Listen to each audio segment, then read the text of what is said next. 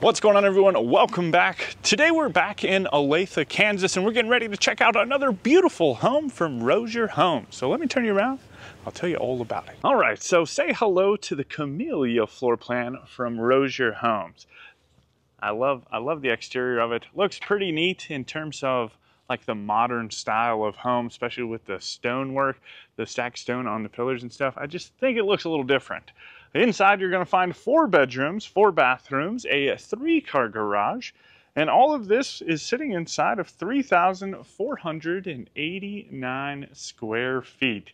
I love that it's got like this frosted glass on the front. It's like privacy glass on the front doors too. I was almost looking for a remote to see if it was like, you know, because we've seen that style before, but uh, alas, I did not. So uh, if you are interested in this home, it is listed for $1,032,788. But with that, let's get inside, see what all we can find.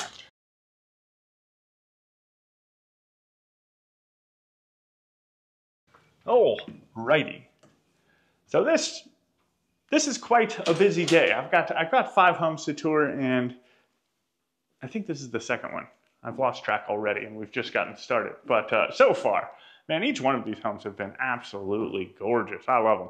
Uh, so as we're going through, I want to know kind of which one is your favorite, whether it be kind of today, not that you'll really know exactly which homes I tour for the day, but uh, across the Kansas trip, because Kansas has got some pretty cool homes. Anyway, this is your front door. It's got the nice privacy glass right here. I was actually, uh, like I said, looking around for the remote, but I don't have it. So, uh, but still a neat look.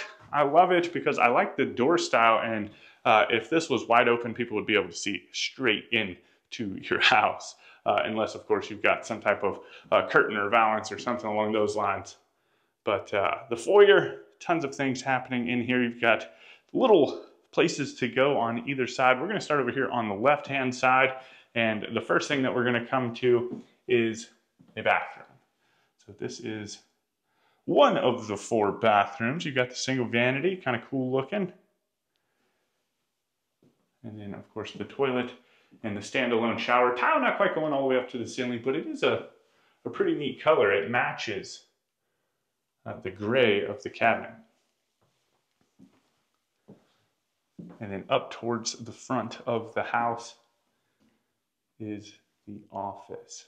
Of course, this could also be a bedroom. We could think about this as a flex room, depending on what you wanted to do with it. I think it does meet all of the requirements. Nice big tray ceiling up there as well. Now, it's not going to be like the biggest bedroom on earth, if that's what you were using it for. Uh, an office or a hobby room or craft room or something would probably be uh, the best bet. Or you could turn it into like a guest room. But nice big windows looking out into the front yard. Old Bessie, old Bessie got caught up in some hail this morning. I was a little worried about her. I thought I was going to walk out the house and uh, uh, have some broken, have a broken windshield or something. But uh, she handled it quite well. A couple little dimples on the hood, I think, but it's not too bad. And then across the way, looks like you've got a coat closet, maybe? Maybe? Yeah, ooh, this is fun. Right, let me back you up a little bit so you can see. I don't know if that's necessarily something you're going to sit on, but it's got like a little shoe bench, little shoe rack down there. I don't know if you're going to sit down and kick your shoes off. Probably wouldn't hold the weight, but uh, still pretty neat. And then, of course, you've got uh, your coat rack up there as well. It's little things. And then right behind that is the laundry room right up here at the front of the house. So you've got spot for front load washer and dryer. And then of course your folding table, which I love. That's like my favorite feature. And then beautiful tile on the floor too. What do you think about that? A little shiplapping happening in here.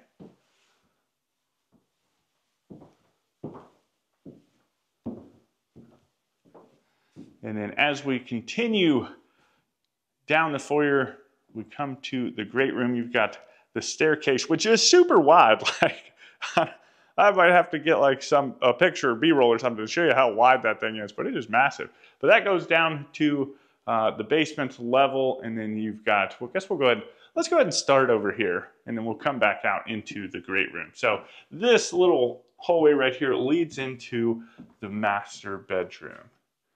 So huge tray ceiling in here, nice big accent wall uh, back behind the bed, and just a single uh, light fixture hanging down in the middle.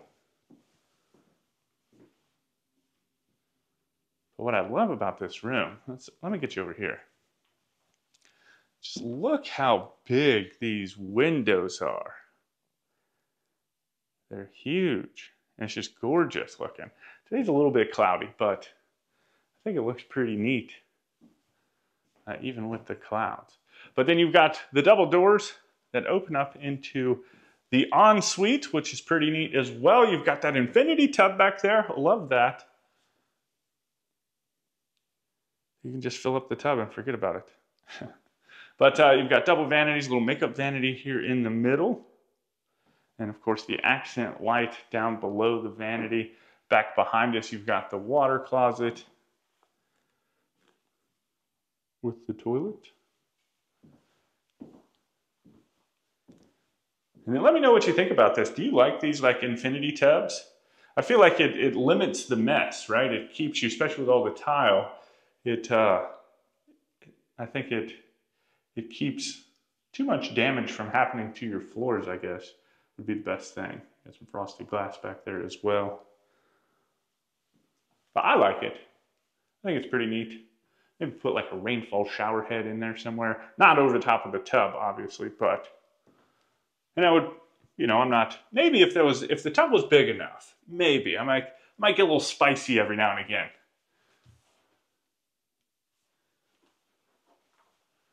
Grab me a little margarita and go sit in my infinity tub. Closet. I love these little pull down things. I'm always afraid I'm going to break them. We're going to try it real quick just goes. Now, see? There it goes. Bloop. It's my biggest fear. It's just breaking stuff especially once they're climbing over the million dollar mark. No, thank you. It's like Tim used to open the cabinets and then he walked into these homes and he no longer touches anything. Just kidding. Never not going to open a cabinet. But then from there we come into the living room. So tray ceiling, very uh, traditional feeling, I want to say, if that makes sense. Do y'all get that same kind of feeling? Maybe it's just like the fireplace. Like it doesn't have, I want to say like an ultra modern flair to it um, that you would expect kind of looking. And the, the exterior is not necessarily like super ultra modern, but uh, I don't know. It's just kind of the vibe I get from it. A cool little arch over here with the built-in. Huge windows looking back out onto the covered back deck. And, and maybe it could be like, look at the windows, right? You've got uh, the top transoms. Like, I don't think that's something that you're going to see because it's all about clean lines, and that's kind of broken up a little bit uh, in terms of the mirrors. Maybe that adds to it a little bit too. I don't know. But anyway, beyond that, you come into the kitchen. You've got this huge, wide island. Like this thing is massive. And then is there, yeah, storage. Both of the Roeser homes have had this and they've been having a considerable amount of space here on the front side of the island. So I, oop, I just bumped you. But I like that. I feel like if you're going to have those, it's nice to, to at least make it usable. And then on this side, this little mini, little mini trash can drawer. Kind of soft opening, which is nice. And it, it, it hits like a apex point where it automatically catches and just goes in.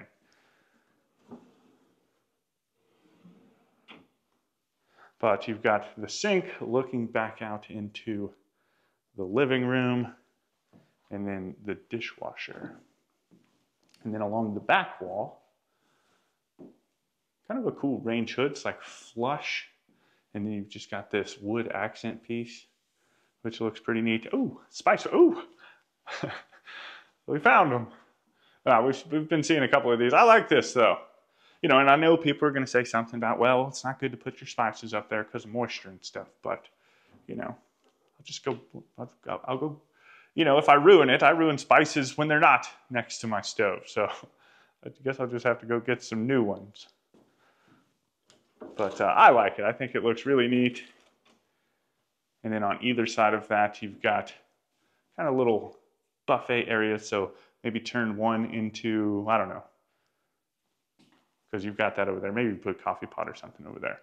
I don't know what you would use over here. Maybe just your mixing space or you put your mixing appliances, uh, something like that over here.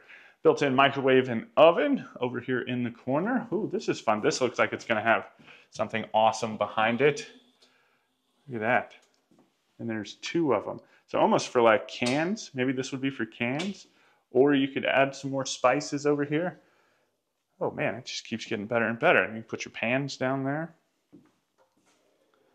Soft close as well. God, it makes me want to, well, maybe not. We won't. but all right, so we've got that. And then along the far wall, um, you've got some more counter space over here, a little spot to put the refrigerator. Going to get me starting to open all the cabinets. We're to be here all day. Not going to make it to the other homes we've got a tour today. And then beyond the kitchen space, we've got a butler's pantry. Whoop whoop. So a little, or uh, maybe this is just like a, I don't know. There's no shelving. I don't know if you'd actually call this a pantry. But uh, it's got some shiplapping going all the way around it. Got a little prep sink over here in the corner with two windows. We've got a beverage chiller.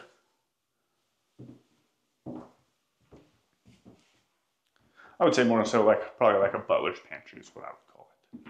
But uh, then you've got, this would be like the mudroom area with your hall tree. And then you have your pantry pantry. So that's cool. So yeah, that would be like chef's pantry, maybe butler's pantry, something along those lines. I would say butler's just because there's there's nothing really over there to cook with. Um, but I'm sure one of you will you will set me straight in the comments. And I like it because here is the garage, and of course you've got immediate access uh, out here into, or from the garage into the pantry area. So tons of space, perusing. You've got some little attic access panel right there. And that seems to be about it.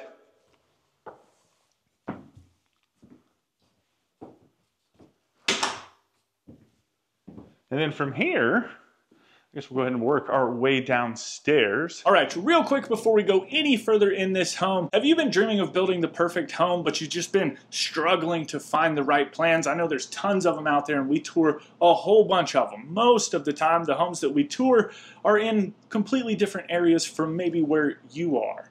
But now you don't have to worry about it. I'm super excited to announce that we've officially partnered with ProfessionalHomeplans.com. It was founded by a group of people that we know, like, and trust and have worked with and toured their homes for several years now. The cool thing about ProfessionalHomeplans.com is they bring you a wide variety of different plans, whether you're looking for the ultra modern style home or you're looking for a traditional craftsman or anything in between, they have plans available to be purchased nationwide. But that's not all. With ProfessionalHomeplans.com, you can work with their incredible designers to customize each home to make it your ideal dream home. Each plan includes a cover sheet, foundation plan, floor plans, exterior elevations, building sections, roof plans, building details, and basic electrical plan. You know, that is one of the things that people are always reaching out to us about. How can they go about getting different home plans? So here it is. While not all floor plans are going to be available from the homes that we tour, this is going to provide the widest variety and the biggest selection for you to choose from. And, like we said, they are customizable. So go ahead and visit professionalhomeplans.com and get your dream home underway. And while you're over there, let them know that Timothy sent you. Let's get back to the tour. We'll set this, let's get over here. I just want you to see how, how wide this thing is. I'm going to set you down here real quick. It's not like a narrow set of stairs. Let's see, can you see? Yeah. All right. for scale. I'm six foot. Like it's just huge. It's a huge staircase. I don't know. I just liked it. I thought it was neat. Uh, and I, I thought it was worthwhile to point out. All right, so there are, there's still a lot of things to get into down here, uh, but there's also a lot of storage. So just as soon as you get down here, uh, you've got this space, which I think is right below the garage. A little echoey in here. But uh, man, look at this, wide open. You could do that, you could, you do anything in here. Play badminton, race RC cars, all types of stuff. And there's a lot of those. Not quite that big though. So this one's a little bit smaller. This one's got the electric panel in it. And that's about it.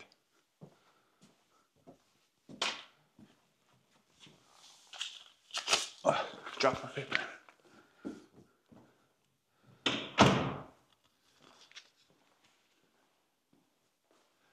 Then you've got a nice big built-in right here. You know that would be cool. uh, man, I wish this was like a secret door or something like that that just opened up into another space. Or even if it was just a storage room, right? And then you could turn it into whatever you wanted. I think that would be pretty neat. Just ideas. I know it's not there, but seeing that stuff, you know what I mean? I'm going to come back to this video in a couple years when I go to build like the dream home. And uh, that's what's happening. So you also got a nice bar down here as well, a little prep sink, huge windows looking out into the backyard, little microwave.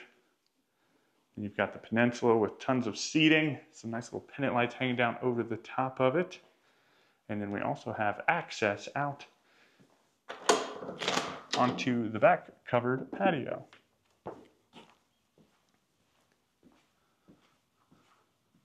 So again, plenty of space out here. You can do a number of things. I left the door open.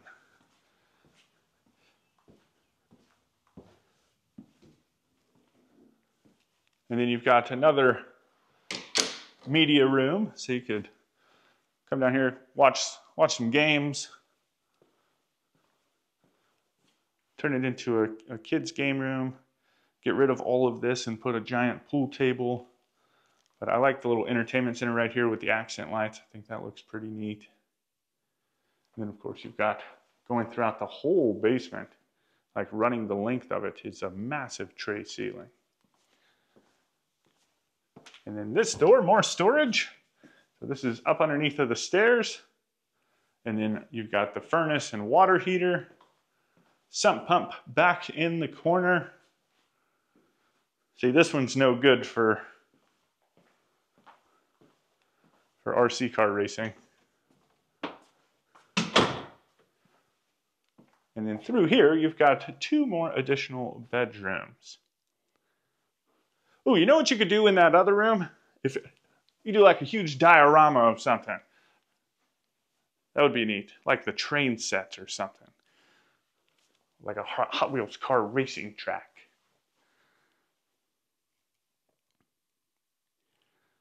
But Nice big room into its closet.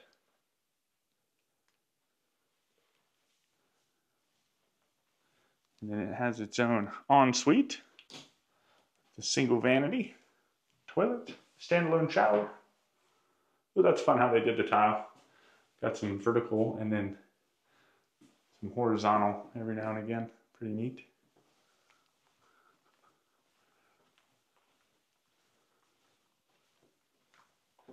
And then down the hall, we'll get, there's another bathroom right here. It's connected to this bedroom.